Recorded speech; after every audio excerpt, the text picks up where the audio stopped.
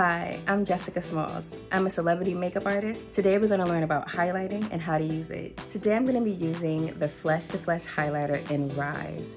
This is such a gorgeous color. It has all of these beautiful golden bronze shimmer.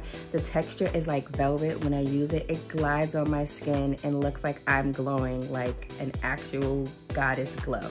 Now, when I use a brush to apply my highlighter, I like to use a fluffy brush. If you use something that is dense, you're gonna deposit a lot of highlighter in that area and that's what you don't want. You want it to look seamless. So when I apply my highlighter, I give my brush a couple of taps, shake off the excess, and then I start from mid cheek and I swipe up. Then I'll go and start a little lower this way I'm not depositing so much highlighter at the beginning of my cheek and it's more centered to the highest point of my cheekbone. When I go to use the highlighting powder under my brow bone, I like to use my finger. Again, a couple of taps and a swipe midway and out. Also use my finger to blend the highlighting powder into the eyeshadow that I already have to give a more seamless look. After that, I switched to a smaller, once again, fluffy brush to highlight down my nose.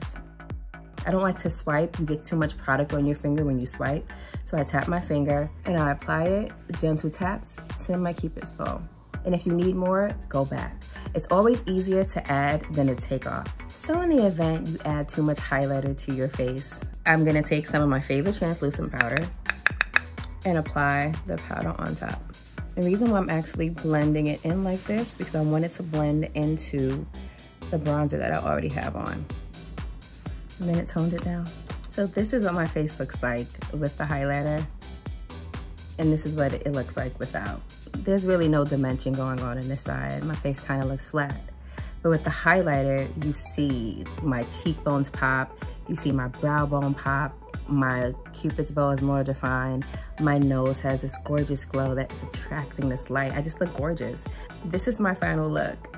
I hope you guys were able to learn something new about how to apply your highlighters, and I hope you have a great day.